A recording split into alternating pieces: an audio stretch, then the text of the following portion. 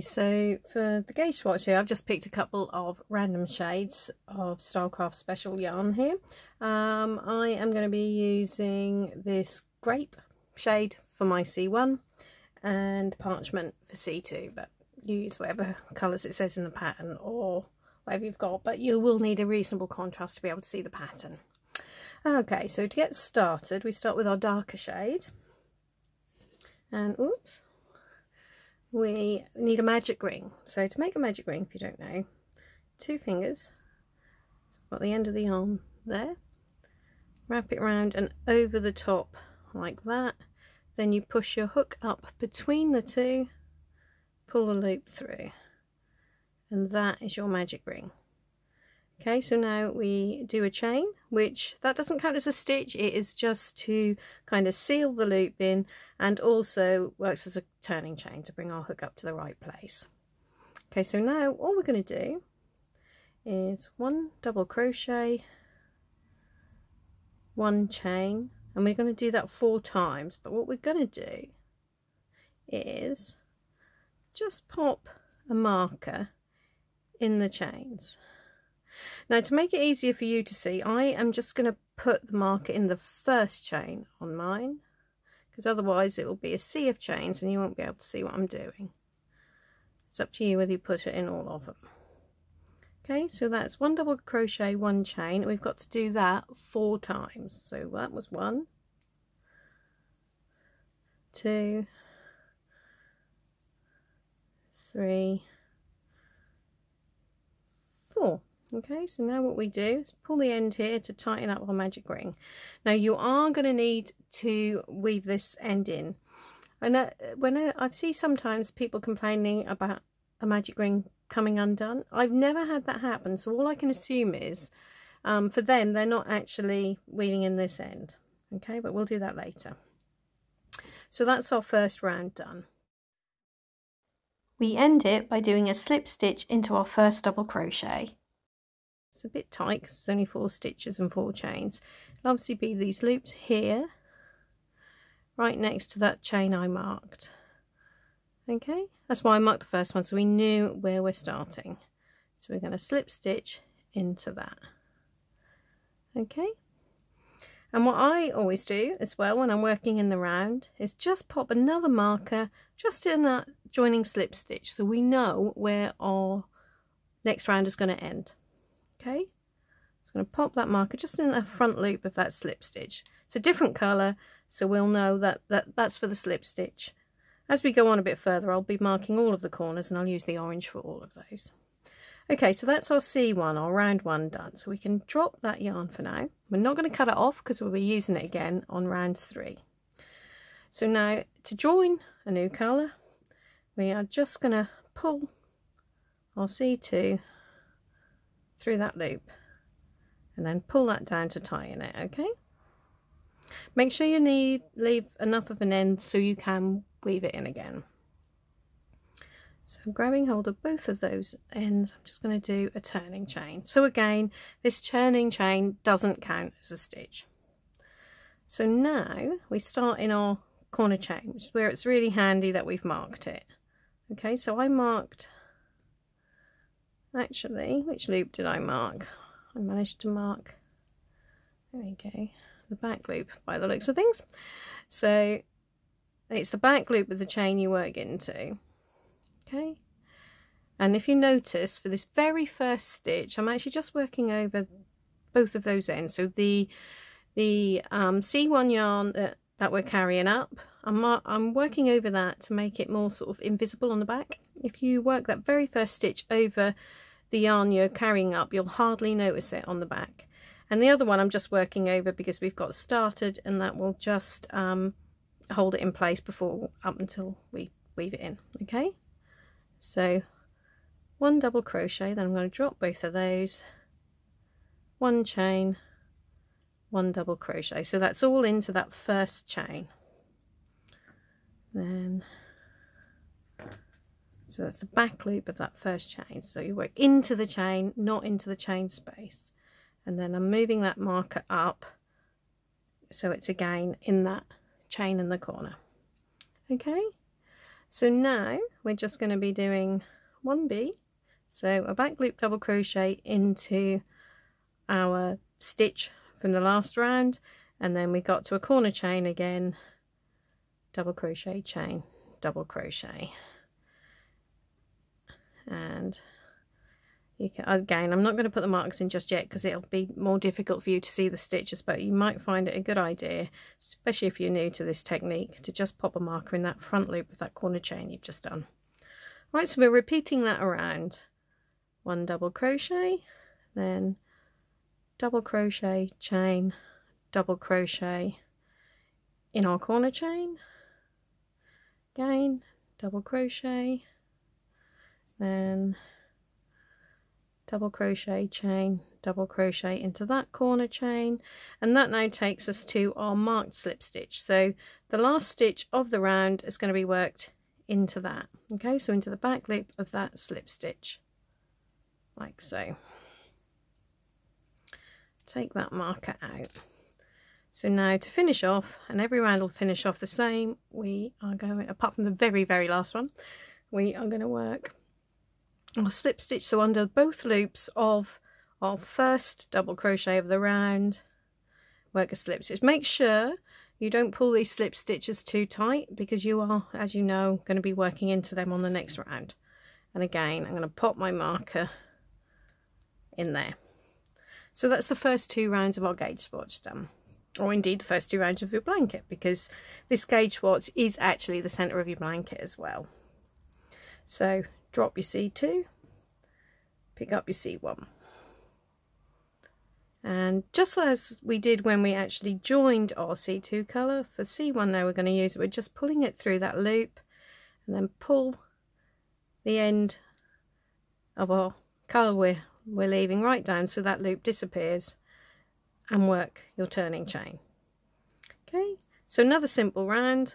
We're now into our marked chain and make sure like I said it's not essential but if you want to make it sort of virtually invisible on the back just work your very first stitch over your old colour that you're leaving for now. Okay so I'll now let go of that again. One chain one double crochet. And we're going to move our marker up. Whoops. Into that chain Okay, so now what we're doing, because we gained two stitches on the last round by working our extra stitch into the corners, so now instead of doing one double crochet between the corners, we've got three. So it's all nice and straightforward so far. Two, three, which then takes us up to our corner chain, double crochet chain, double crochet, and then three back loop double crochet. So we're just repeating that little bit around there. So you've got double crochet chain double crochet in the corner. And then three back loop double crochets.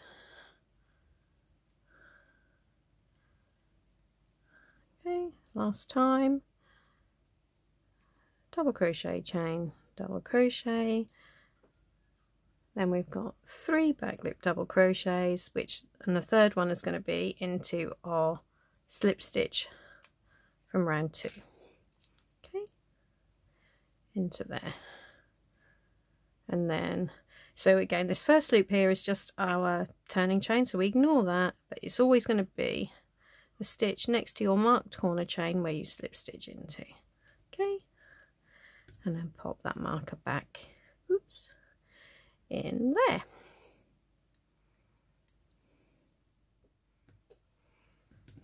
Okay so so far it's been nice and straightforward. We've just been doing our back loop double crochets and then doing back loop double crochet chain back loop double crochet into the corner chains. For round four we're going to start making a pattern. So we're going to be covering up most of these stitches here on the sides with our mosaic stitches, our front loop trebles. So again, we're going to pick up our, C, our C2 colour, Oops. pull that tight so that loop disappears, turning chain. Then we have got, as always, one double crochet, one chain one double crochet in that corner and I'm going to move my marker up into that chain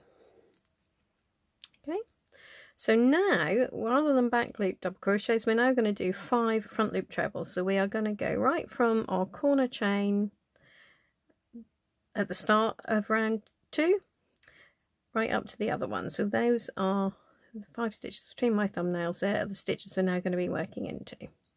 All right so yarn over. Now this first one can look a little different to the others because we've had our sort of turning chain and slip stitches in the corners but as long as when you get to the end of the round you put your last front loop treble into the same loop as you put your first one in you're never going to see any of that okay? So front loop treble in that corner chain from two rows below. Then we've got three along the edge of round two and then we end that side in the next in the so that's the unused front loop of the next corner chain. That's why we work into the back loop of the corner chains not into the chain space. And also if you work into the chain space you're going to get a little hole in the corner. But that hole is going to be a lot smaller if you're working into the back loop. Okay? So that is now our, oops, I can get my hook in there, of five front loop trebles on that side. That then takes us up to our corner chain. Now if I'd have marked it, you'd have been able to see nice and clearly where it is. I'll just, but just in case you haven't like I haven't, I'm going to look on the back and make sure we've got the right number of missed stitches. All right. So we have one, two, three, four, five stitches behind our five trebles there so we know that that is definitely our corner chain. What I will do to make it easier for you is I'm now going to start marking those. So I'll start marking that now. Hopefully there's enough space between them that you can see the different sizes easier. Mm, markers playing me up. There we go. Okay, so that's that corner done. Then we've got another five trebles on this side. So make sure your first one starts in the same loop that you did the last one on the previous side. Okay, so whenever you see in this pattern an F stitch immediately after the corner chain stitches, you know it's going to be worked into the corner chain from two rows below. And also it will be because this is symmetrical around the corners it'll always be into the same loop that the last one was on the other side. Okay. So one two three four and the fifth one's into that corner chain okay? Then double crochet chain double crochet in the next corner and as I said I am now going to pop a marker in there for you okay? Then oops picked up an extra loop there five front loop trebles and so on so you carry on around here and I will see you for round five Okay, so I've now actually done four trebles on the last side of round four here. And if you see, we've now actually come up to the last, so that last stitch, as I've said on these sides, the last stitch of this edge needs to be in the same loop as the first one of the next. And this time that's going to be in front of our marked slip stitch. So we're not going to be actually working into our slip stitch, we're going to be working in front of it. Okay, so and as I said you can kind of see there's like an extra little loop there which I think is the slip stitch it's either the, the front of the slip stitch or possibly the turning chain from two rows below but just ignore that and work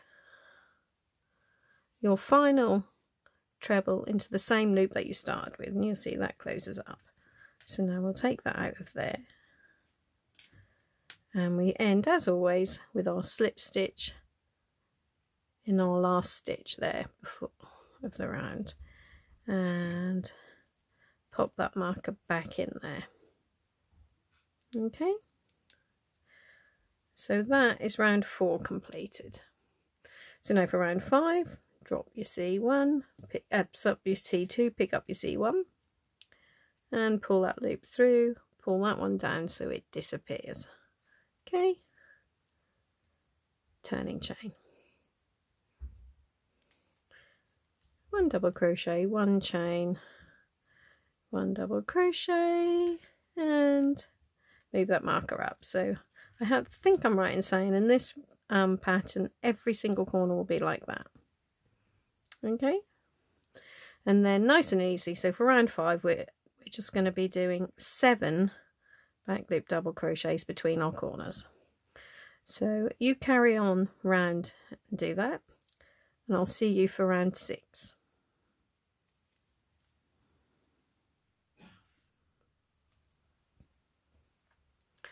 Okay, so for round six, we're now picking up our second colour again.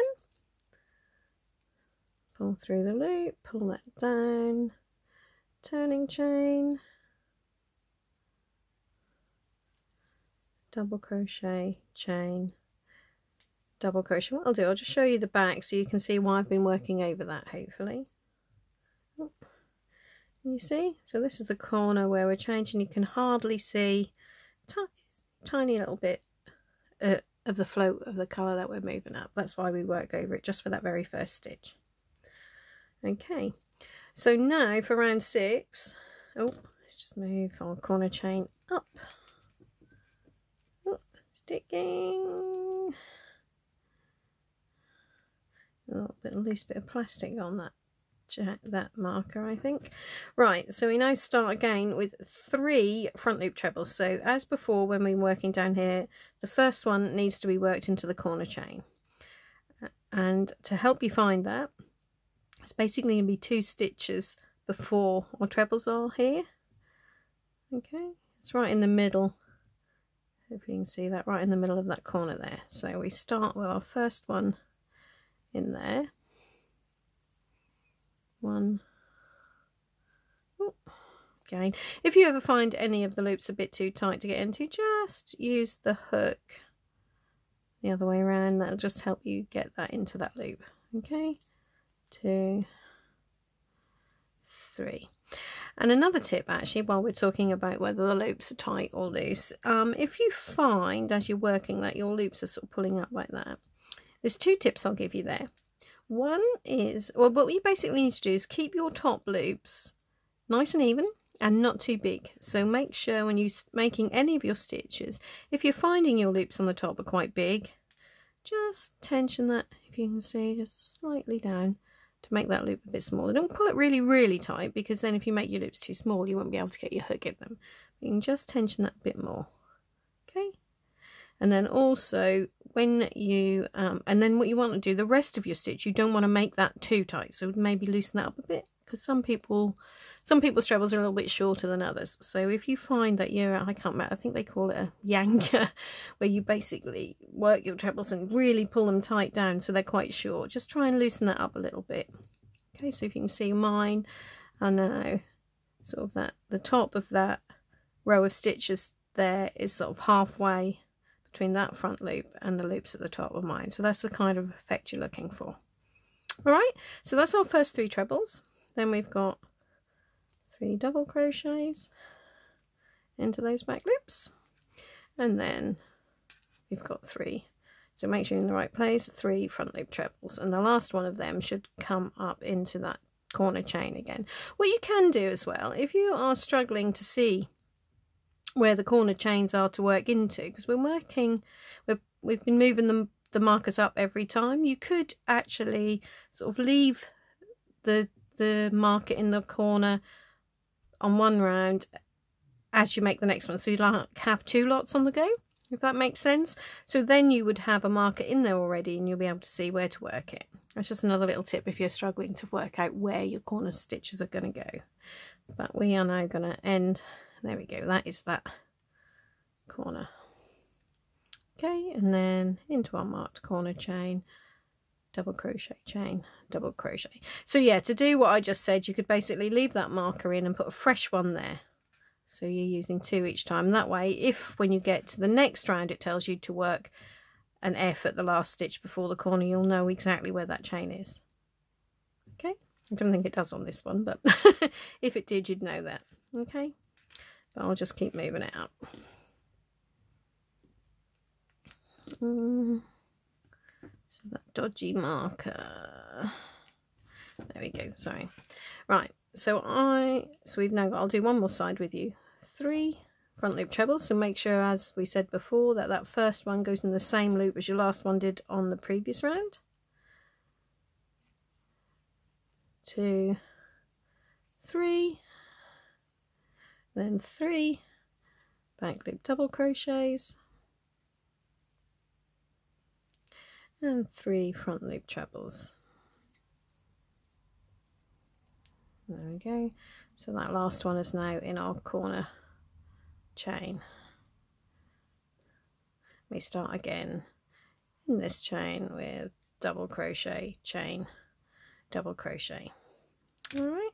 So you carry on and complete that and I will see you for the last round of our gauge swatch which is round seven okay so that is now the end of round six so for the last round of our gauge swatch, if you are just making the gauge swatch, in fact, actually if you're doing the blanket as well, what we can do is um, cut that off. And again, make sure you leave enough yarn so you can weave it in, okay? So we obviously, because we're working in the round, we're not going to be doing an envelope border here. So you will need to weave in the ends you've got. But obviously between rounds, you don't need to. So now I'm going to pick up C1 as usual turning chain then whoops fingers and thumbs double crochet chain. And actually we can work over that for a bit longer there just this other stitch now as we're not using that again. Just work over that end that'll help hold it in place. You would still I would still strongly recommend you weave it in because just working over the ends in my experience won't hold them forever. In use and when you've washed your blanket a few times and things they can come out and then you end up with holes. So we don't really want that so make sure you do weave them in though. Okay so we've now got four back loop double crochets. One two three four then in this little gap here we have got whoops, one front loop treble, one double crochet, one front loop treble. Ooh, you want to pick up all your strands of yarn. Let's try again.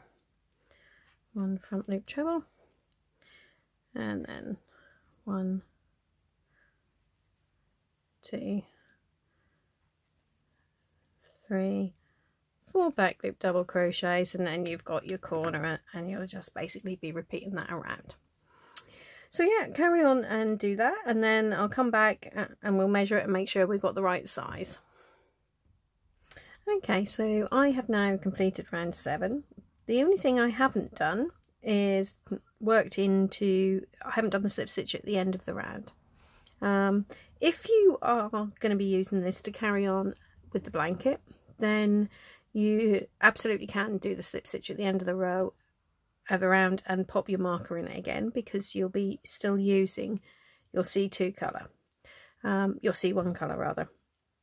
But for the purpose of the gauge swatch, just making this little square, I'm now going to fasten it off. Uh, and so to fasten it off, rather than doing a slip stitch, I think that looks a bit untidy. So I will then, when we've completed um, when you complete the blanket or like this I'm going to just do an invisible join. So I'll just take you through that as well. So I've now ditched my um, marker for the slip stitch because obviously I'm not slip stitching anymore. We've now finished that.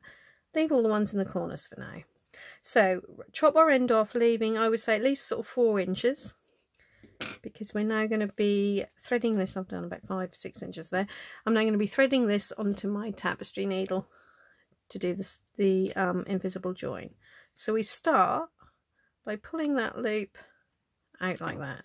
So we've now just got the one strand of yarn, there we are, sticking up out of our last stitch. So we now thread that onto our tapestry needle. And what we do, now when we were doing our slip stitch, we were working into there. Don't want to do that now because if we do, we're going to basically create an extra stitch. What we're going to be doing is now manually making another stitch at the top to replace this one. So to do that, you're going to actually work under your the two loops of your corner chain there. Okay. So pull that through and don't pull it too tight. Just leave that, if you can see, so it's now about the same length as the top loops on my other stitches. And then we take our tapestry needle and we put it back into that stitch where it came out and if you just turn around there's also like this third loop an extra loop on the back. Go through that as well. That just makes it more secure. Okay? And again don't pull it too tight. And there you go. That's why it's an invisible join. You can't now see where the join is. So we just need to secure that by weaving it in on the back. So just go. There we are. And don't pull any of this too tight because you don't want to bunch anything up. You want to keep it just as nice and neat as it is there okay? So I'm now gonna as I've already worked, worked over the edge of that one there to stop it getting too bulky on the back I'm just going to work back this way. And it's quite good actually if you can go if you've got a short, slightly sharper tapestry needle than I have here and you can actually go through or you can you sort of go through some of the fibres of the stitches. You can see that? It just makes it more secure. So you just weave in and out along like so. And again don't pull that too tight and go back the other way. So don't go straight under the same loop because you'll pull it out. So if you just go to basically the next stitch weave across a bit again that would probably do it. But to be extra safe I'm just going to go back the other way a bit. Okay so hopefully you saw all of that okay. So once you've gone backwards and forwards a few times, you can cut that off. So you now need to do the same with all your other ends, including your magic ring. So for the magic ring, when you come to tighten it up, just my or to for, to tidy up your ends, just pull that as tight as you can. Make sure that you've got that central loop nice and small. And then, like I say, just weave it in the way I've just done on there.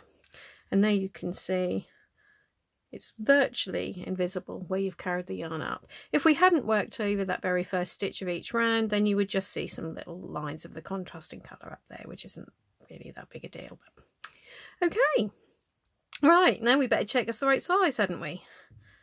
So, lay it down, pick up a ruler or a tape measure, and just lay it across there. There we go, eight centimetres. Phew. So like I said, if you're using the colour, if you've got the right, if yours is a slightly different size, it doesn't really matter for the purpose of the blanket, as long as you're happy with the way the stitches look and feel. So you don't want it too stiff, but you don't want it gappy either. So as long as you're happy with the way it looks, all you need to bear in mind is obviously if your swatch ends up larger than mine, you may well need more yarn than I did. If it's a bit smaller, then you'll have plenty and, and some left over. Okay, you can also, in fact I think I might now go off and do it, make several of these little squares and join them together. That might be quite nice. It could also maybe work for a temperature blanket where you'd maybe use one of the colours for the daily high and the other one for rainfall or something. So actually that's a really good idea. I might actually I might actually do that.